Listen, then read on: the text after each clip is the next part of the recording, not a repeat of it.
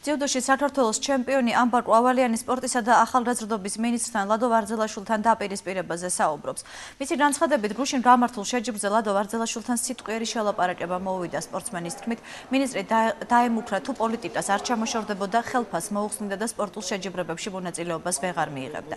როგორც კოალიცია ქართული ოცნების წევრი ოლიმპიური ჩემპიონი ზორაბ ზვიადაური ამბობს, სწორედ ამ ფაქტის გამო იმ დღეს ვერ გვიან საღამოს ორმა უცნობ მავალიანი ვარძელაშვილთან შესახვედრად წაიყვანა. ან სპორტი აირჩიო, ანუ პოლიტიკაო და კიდევ ვთხარ რომ ეთი არანაირ პოლიტიკაში არ ვერევი თქვა და არ ვაპირებ თქვა რომ პოლიტიკაში წავიდე თქვა რა. მე სპორტს ვაგრძელებ თქვა და სპორტის გაგრძელება მინდა თქვა და უბრალოდ ჩემი აზრი დავაფიქსირე თქვა და მაგაზე მითხარ რომ ხელფას მოგიხსნიო იქ რა ვინაკრებს აღარ გაგაკარებ და მე ვთხარ რომ ეთი ვერ მომიხსნი თქვა რაც მეკუთნის თქვა იმას ვერ მომიხსნი თქვა რა. და ვნახოთ. დამირეკა ერთ-ერთთან ჩვენო მეგობარმა ზურამ. ვისთან ვისთან ერთადაც იმყოფებოდა ამბაგო ავალიანი ჩვენი მეგობარი.